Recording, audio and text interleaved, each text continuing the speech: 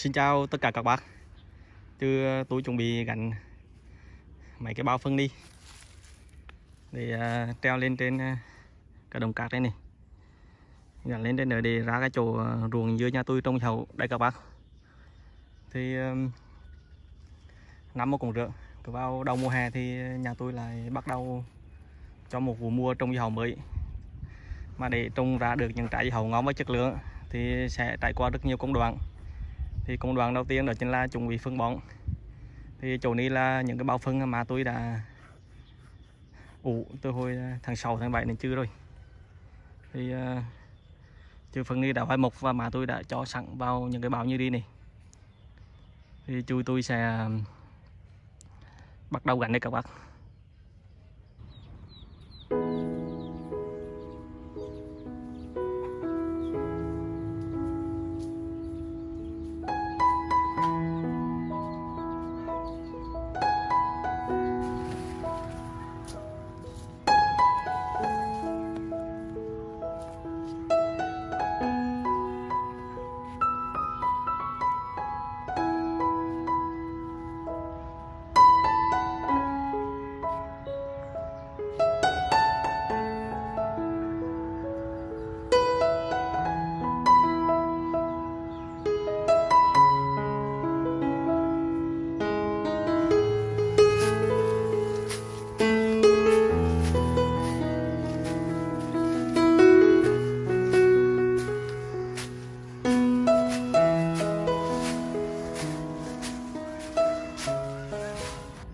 Thì ờ, sau một hồi lăng lẹt đeo bò thì tôi cũng đã gắn được hai ba phân đi lên ờ, trên cái đồng cát này ờ, nha các bác.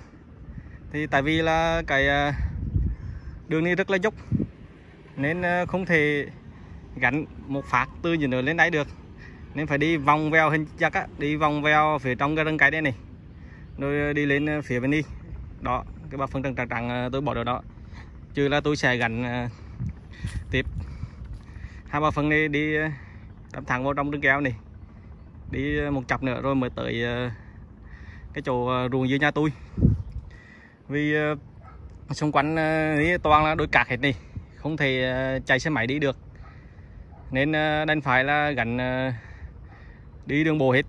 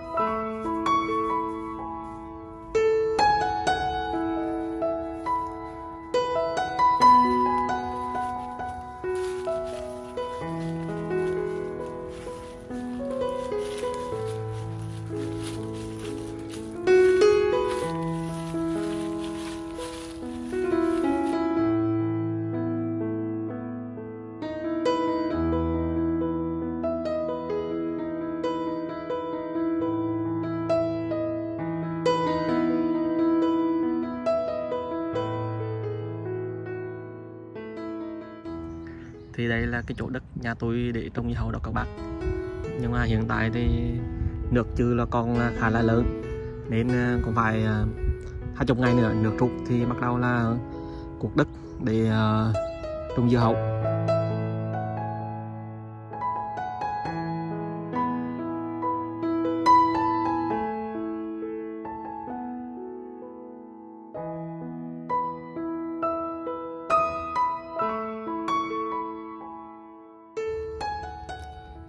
Xin chào các bạn Thì sau ờ, hơn một tháng Thì cái chỗ ruộng giữa nhà tôi ngoài đi ờ, đã càng hết nước rồi các bác. Thì bữa trước á nếu cái chỗ tôi đứng ní á, là nước nó cao lắm. Chỗ ní bữa trước đứng nó cũng phải ngắn đầu gối nữa Nhưng mà bữa chứ ờ, miền Trung nó nặng gắt lắm Nên nước càng cũng rất là nhanh. Thì chỗ ní mà tôi đã trồng được chân đi rồi này mấy chỗ này là bên này là thuê cây không có nên à, hoàn toàn là phải cuộc à, bằng tay hết. Chỗ này cũng trồng được uh, nửa tháng rồi. Nửa tháng dương lên chân đi rồi này. Còn uh, phía cái, cái đau nữa cái đau nữa thì của cái ruộng dưa của họ nhưng mà bữa nay trồng dương phức vạc cực quá họ không trồng nữa. Thì nhà tôi cũng trồng luôn.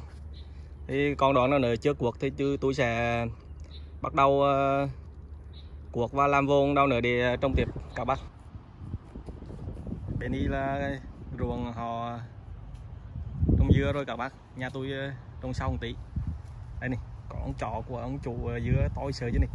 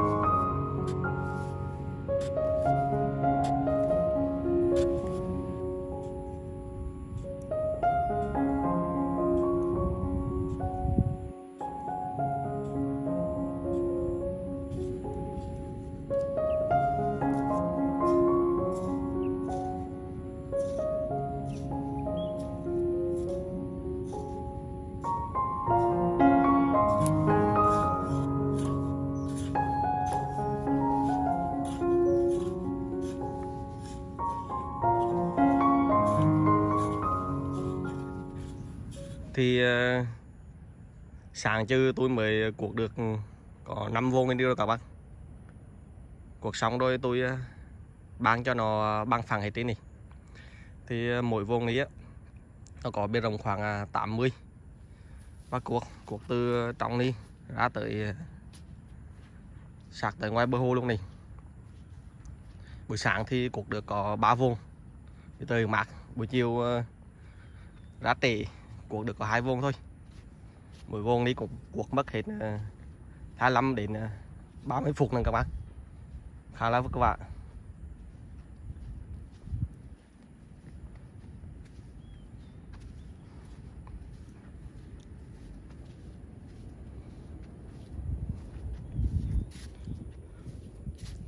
thì ờ, mỗi là nó cách nhau khoảng ờ, hai mét rưỡi.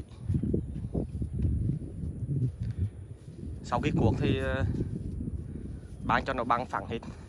Để ờ, tiếp theo là đào lỗ để ờ, bỏ phân lọt để trồng cây. Thì sau khi cuộc được 4 đến 5 vùng thì bắt đầu trồng cây cái đã. Tại vì nếu mà trồng hết ừ, tới cái chỗ này nữa thì mai một dưa nó chín đó. thì bạn không kịp nên phải trồng kiểu xanh kẽ trồng uh, khoảng 4 đến 5 vuông đi xong á là cờ tuần sau á. Bắt đầu ờ, trồng bên đi một nửa vạc bên đi nữa.